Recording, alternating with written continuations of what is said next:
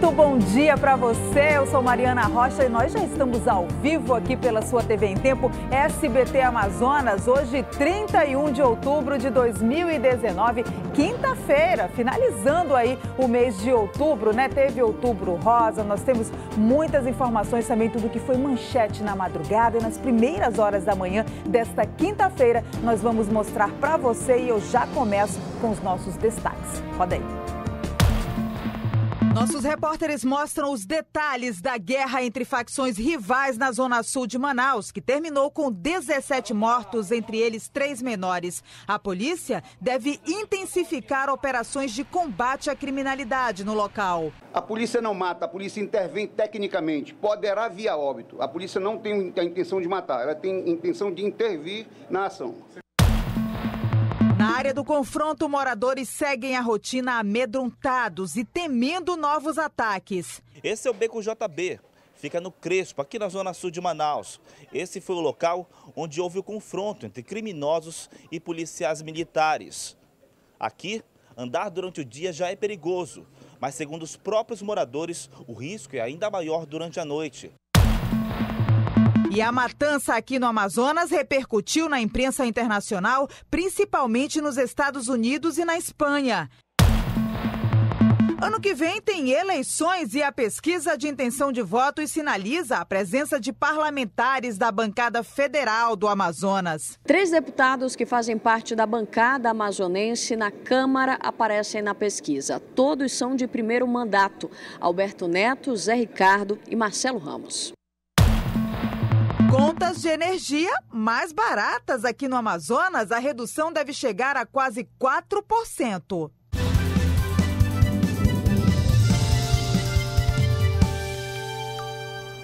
Bom dia novamente. A nossa equipe de reportagem é, esteve no local aí do crime, né, onde ontem 17 pessoas foram mortas. Integrantes de facções criminosas morreram aí no confronto com a polícia. Os moradores lá do Crespo, na zona sul de Manaus, seguem a rotina amedrontados e temendo novos ataques. Bairro Crespo, zona sul de Manaus. No local onde houve o confronto entre policiais e bandidos, o assunto era um só. Ao mesmo tempo, o silêncio imperava na região. Às sete da noite, grande parte dos comércios já havia fechado e em igual situação estavam as janelas e portas das casas. A rotina dos moradores foi afetada. Mesmo na quadra poliesportiva, que fica no centro da comunidade, nenhuma criança foi vista brincando. Esse é o Beco JB, fica no Crespo, aqui na zona sul de Manaus. Esse foi o local onde houve o confronto entre criminosos e policiais militares. Aqui, andar durante o dia já é perigoso, mas segundo os próprios moradores, o risco é ainda maior durante a noite.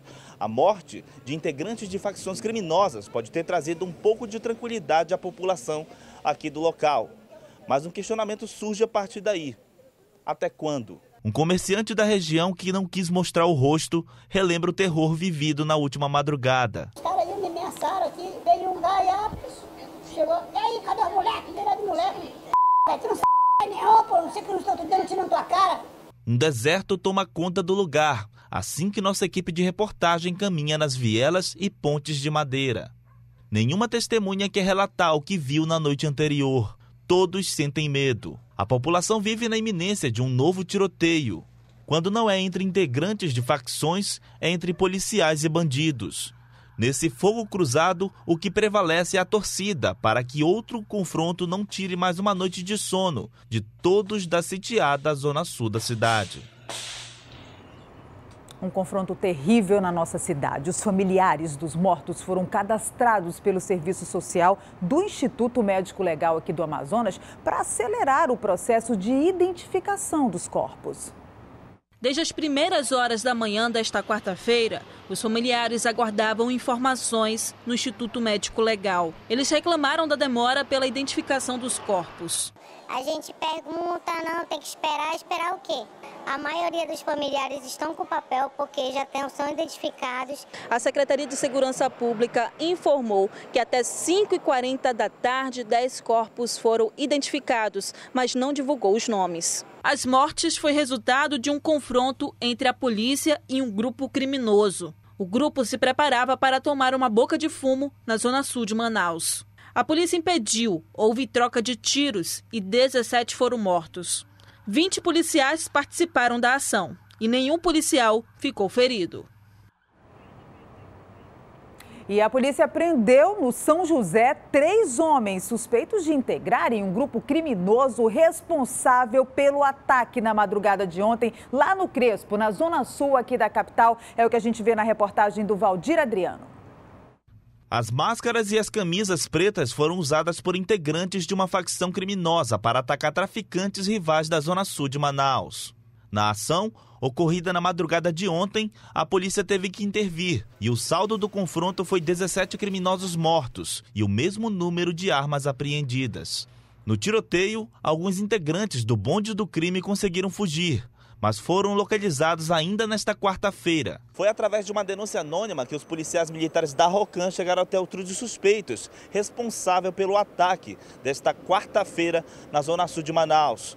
O endereço dava conta de que eles estariam armados e também com uma certa quantidade de entorpecentes. E foi lá, na rua Paracuúba, no São José 1, que os policiais conseguiram localizar os criminosos. Eles foram identificados como Matheus Olímpio de Mendonça, de 22 anos, Alexandre Luiz Vieira, de 32 e Cleiton Ferreira Silva, de 27. Eles não resistiram à prisão. Na casa, os PMs ainda encontraram duas armas de fogo, drogas e uma motocicleta. A gente verificou lá que tinha uma moto na qual não possuía a placa, possivelmente está com restrição de roubo. Essa moto era utilizada por eles para sair e matar é, rivais da facção. Né?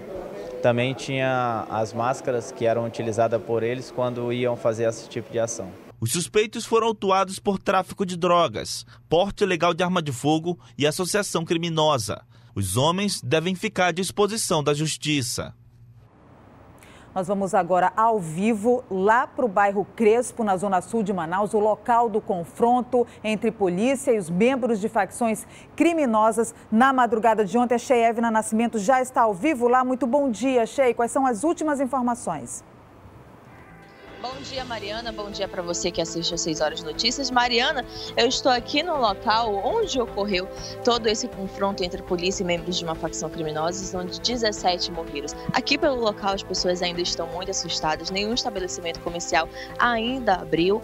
A gente acompanhou há pouco tempo com a operação da polícia que vários estabelecimentos comerciais estavam abertos e hoje, infelizmente, não estão. A rua está completamente deserta.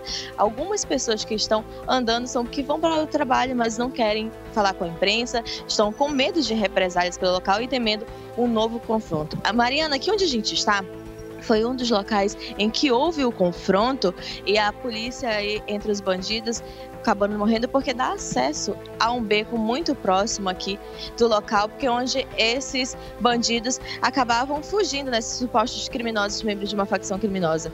Aqui nesse Portão Preto, Mariana, onde a gente está caminhando também, é um local onde muitos deles pulavam o muro em busca de fugir da polícia. Como a gente pode ver, o local da água acabaram arrombando esse portão durante o confronto com a polícia. A gente viu imagens aí que circularam pelas redes sociais durante esse confronto em que os bandidos pulavam, acabavam arrombando também esse portão. A gente viu aqui, ó, tem um, um portão solto devido a eles terem arrumado para tentar fugir da polícia esses 50 é, supostos criminosos que chegaram em um caminhão baú aqui no local, Mariana. A gente vê uma movimentação de carro, mas são de pessoas que estão indo trabalhar. Infelizmente, teme um, no, teme um novo confronto, né? A gente vi, tá vendo o carro da polícia agora passar pelo local. Vou pedir para o Franciomar o você vai mostrar, a polícia continua fazendo aqui a ronda pelo local para tentar amenizar a falta de segurança e confortar as pessoas que moram no local, né? Eles vai, ficam passando constantemente aqui, um carro passa, depois vem outro, para tentar acompanhar toda essa, essa questão que está ocorrendo aqui na Zona Sul, né, Mariana? A gente viu que vários vídeos circularam nas redes sociais de vários tempos em que os bandidos começavam a ameaçar a população com tiros e tudo, mas é, a população continua temendo que a Zona Sul volte a ter outro confronto. Volto com você aí no estúdio. Muito obrigada, Cheyevna Nascimento. Daqui a pouco a gente volta com novas informações ao vivo para você sobre esse confronto que repercutiu, inclusive, internacionalmente. Em Manaus, gestores de vários municípios do Amazonas participaram do 18º Fórum do Meio Ambiente. Entre os temas discutidos está a situação dos lixões a céu aberto no interior e também aqui na capital.